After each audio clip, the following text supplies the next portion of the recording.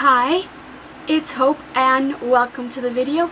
This is going to be a fairly large book haul as there are 14 books that I've hauled in the last like two weeks I think, like two, three weeks. Like there hasn't been that, it hasn't been that long since I posted my last book haul, but I had a book outlet order, a pre-order, and then a few other things come in the mail. So let's just get started. I will say where I got these books. Um, and yeah. But the first book we have is Where I End and You Begin by Preston Norton. And I'm just going to read this. Ezra is an anxious, neurotic insomniac who spends his nights questioning his place in the universe and his days obsessing over Imogen, a nerdy girl with a gigantic eyebrows and a heart of gold. For weeks, Ezra has been working up the courage to invite Imogen to prom. But on the only problem is Imogen's protective best friend, Win Win Winona. Winona has blue hair, jams to 80s rock, and has made a career out of tormenting Ezra for as long as he can remember. Then on the night then on the night of this total solar eclipse, something strange happens to Ezra and Winona, and they wake up in each other's bodies. Not, only, not only that, they begin to random, randomly swapping back and forth every day. Soon, Ezra discovers Winona's huge crush on his, his best friend Holden. With no end to their curves in sight, Ezra makes Winona a proposition. While swapping bodies, he will help her win Holden's heart, but only if she helps him woo Imogen. And that's kind of what I'm going to read.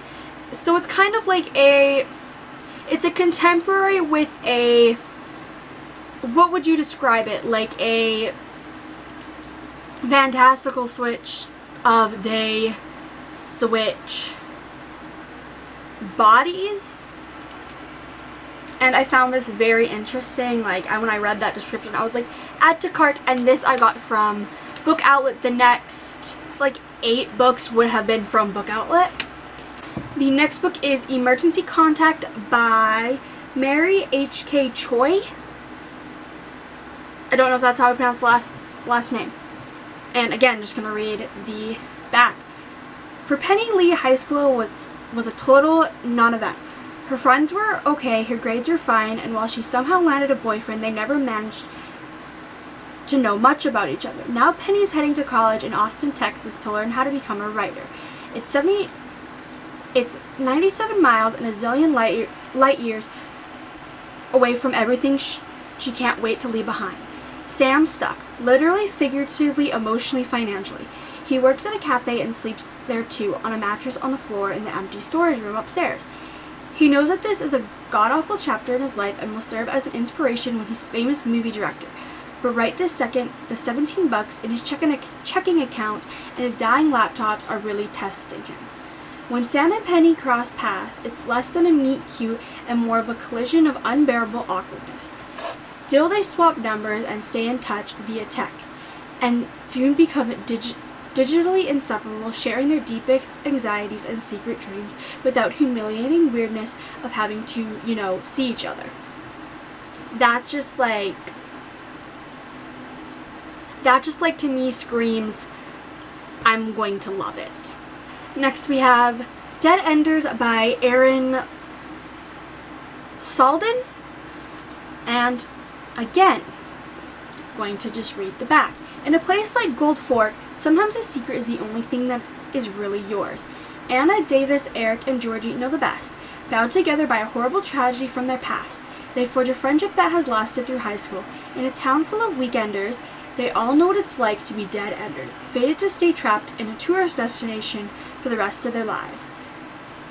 But with the appearance of a long lost family members and arsonists setting the town ablaze, it's time to confront the fact that they bought it's time to confront the fact that what brought them together years ago might be what ultimately tears them apart. Because someone is keeping one last secret, a truth that could change everything. Ah, I don't know, this I like I don't know, it just sounds interesting and it was pretty cheap. It was like I think under five dollars. Sounds kind of interesting. Um, the tagline is keep your friends close and your secret secrets closer, and I just feel like I'm gonna like it.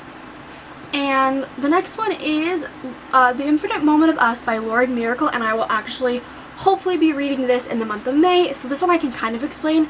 Essentially, follow Ren, who has been the perfect, the perfect student, the perfect daughter, and all of that. And as and as graduation nears, she kind of thinks like maybe being the perfect daughter isn't what she wants. And then also we have Charlie, who has been in love with Ren pretty much all of high school, and, but Charlie believes that Ren won't like him because of the type of person he is, or the type of person that he perceives himself as. And it's pretty much just like their cute little romance. That's pretty much all I can explain. That's the back summed up. But I'm super excited for this because it's like a quick play, quick pace YA contemporary romance. Skyward by Brandon Sanderson. This was pretty much, this was one of the two books that kind of inspired me to make this book outlet purchase. But, um, I'm just gonna read the back, because literally, when I say I actually haven't read the description of this, I haven't read the description of this, like, oops. Define, defi hmm. Defiance is survival. Spence's world has been under attack for decades. Now pilots are the heroes of what's left of the human race, and becoming one has always been Spence's dream.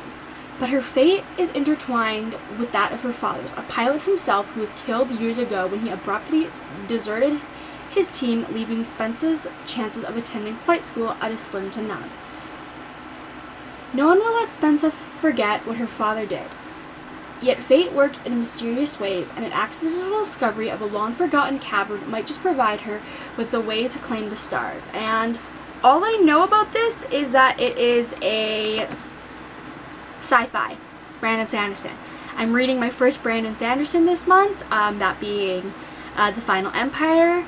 Um, so I'm probably going to put off reading this until I finish that series so I don't have two series by the same author, but I am really wanting to read this because I'm kind of starting to get into sci-fi a little bit. Um, by a little bit, I mean I've read like a couple and have enjoyed them this year. Um, but this is one I really hope I'll like because I've heard only good things about this. The next book is Devouring Gray by Christine Lynn Herman and I know nothing about this really. I follow the author on Twitter and I've heard good things about this and I'm really excited for um, the book All of This Villains that um, Christine Lynn Herman is co-writing with Amanda Foody who is my one of my favorite authors. So that's why I wanted to pick up this because I wanted to see kind of how Christine Lynn Herman's um, writing is so I'll know kind of how that book will go. But this book, The Devouring Gray, branches and stone, daggers and bones, they lock the beast away. That already sounds really good. After the death of her sister, 17-year-old Violet Saunders finds herself dragged to four paths to New York. Violet may be a newcomer, but she soon learns her mother isn't. They belong to one of the revered founding families of the town, where stone bells hang above every doorway and danger lurks in the de depths of the woods.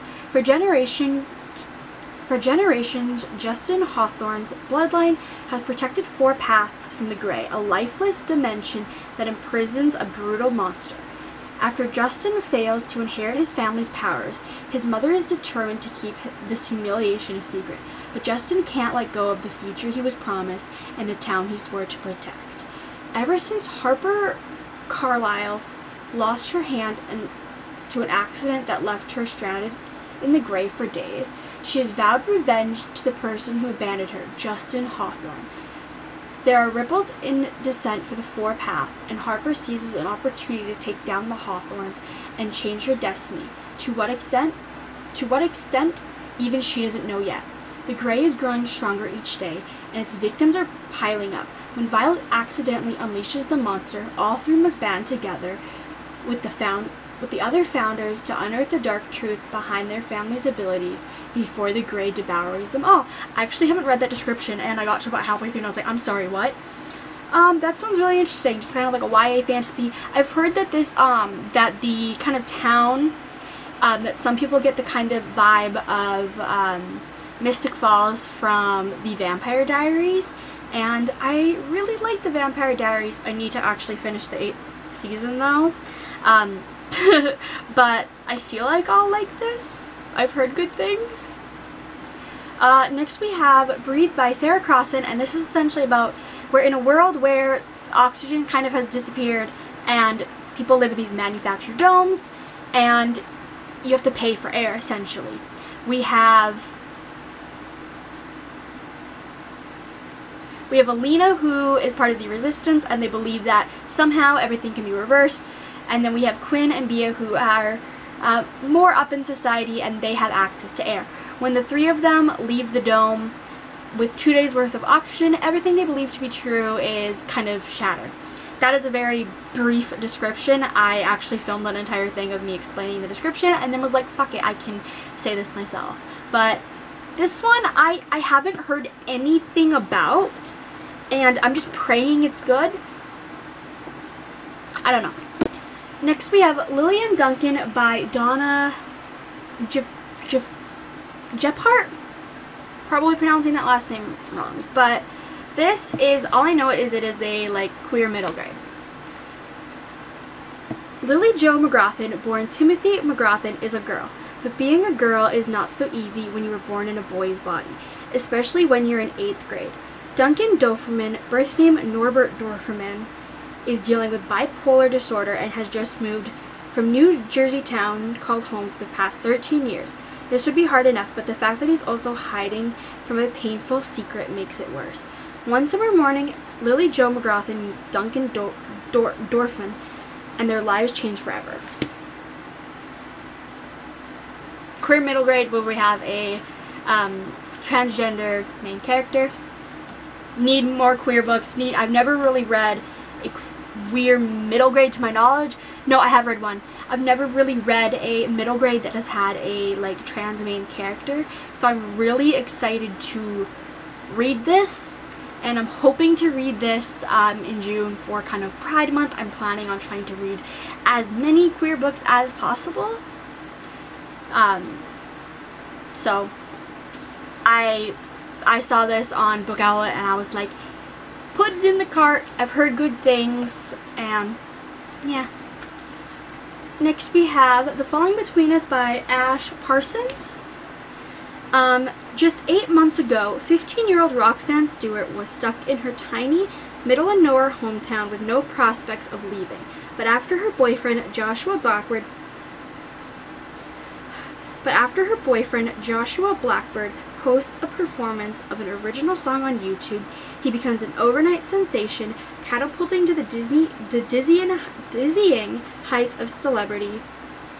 And Rox joins him on the whirlwind ride, ride of a massive national tour.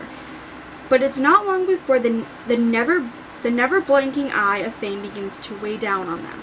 The constant hunger of managers, diehard fans who call themselves birdies, record execs, paparazzis, and even family all leeching onto Joshua.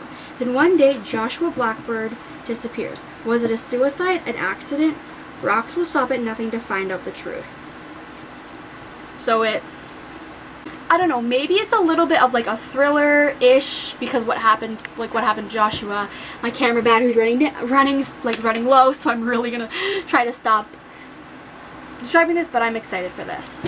Uh, next we have uh, Kingdom of Ash by Sarah J Maas, and I'm not explaining this because it is the uh, seventh and final book in the Throne of Glass series, and by the time you reach this point of the series, the description that I would give is so off but I've read this series and I love it. This book destroyed me and I'm trying to, to slowly get the entire series in um, hardcover, which is seemingly hard when you're broke.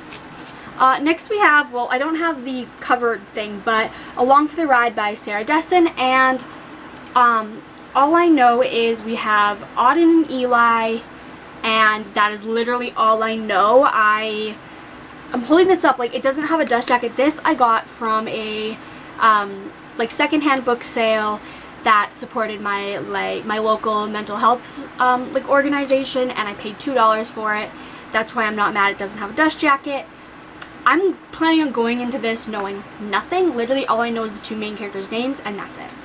But the next two books are the first two books in the All for the Game trilogy, and that being the, Fo the Foxhole Court by Nora Sakavic and The Raven King by Nora Sakavic, and I'm going to struggle horribly with describing these. Essentially, in the Foxhole Court at least, we follow Neil who joins this team, um, this Exy team, which essentially is kind of like lacrosse but make it more violent. Um, at this university and at first he's hesitant to um, join this university team because it would put him in the spotlight and he's been on the run for years from his father who is kind of a bad person and that's kind of it. It's uh, kind of like a sports series and yeah, it's also slightly queer. And I need to get the third book, um, The King's Men, ASAP because I want to do a reread of the series and tab all the shit I love. And the final book is the book that I'm currently reading. By currently reading, I mean I'm going to start in like 10 minutes as soon as I finish filming this, and that is Realmbreaker by Victoria Aveyard. This is a signed um, Indigo edition, and I really don't know much about it. But like, look at these beautiful like end pages. It's the map. It's so gorgeous. Um, save the world or end it. A strange darkness is growing in the ward. Even Corayne and An Amarat can feel it, tucked, tuck, tucked away in her small town on the edge of the sea. Fate knocks at a door in the form of a mythical immortal and a lethal assassin who tell Corayne that she is the last of an ancient lineage with the power to save the world from destruction.